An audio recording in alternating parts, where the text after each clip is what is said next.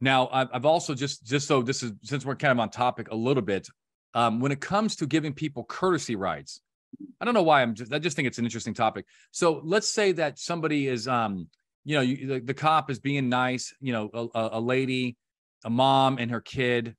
It's gonna it's gonna start raining out, or maybe it is raining out.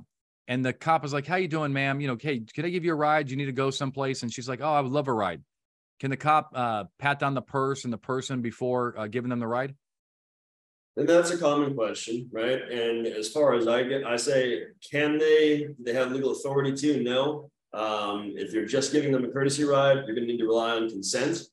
And if they say no, you may not pat me down, you may not frisk me, you may not search my bag before I get in your car, then I'm saying, well, then I ain't I ain't doing gonna, giving you a ride someplace. Yeah. I hope you you smell like a wet dog after you're done because I try to help you and you only let me search your stuff. What kind of agreement is that, right?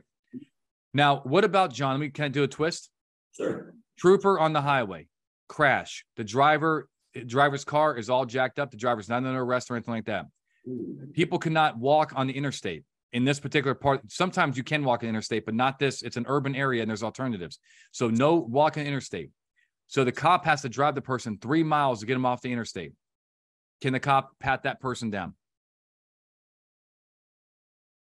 Yes. Somebody says Uber. Uh, so yes.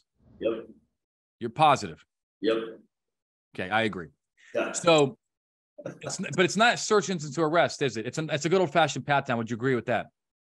Yeah, and I think you know, I mean, can you rely on an administrative search exception? Um, I don't think we're. I, I don't think the courts call it that. Um, they just call it basically, you know, legitimate officer safety needs, because of in this case, it's a compelled right. transportation. We, we we can't let this guy walk on the highway so no. since it's a compelled, now we do want to we do want to uh, try to earn their cooperation. Yep. But the other thing, John, I I think maybe makes sense is that hey, your backpack. I don't think we should be like just searching backpacks. Maybe just put it in the back of the car. It's out of reach. Unless we have specific facts that they may be armed and dangerous, then we we do the regular pat down rules. Would you agree with that, John?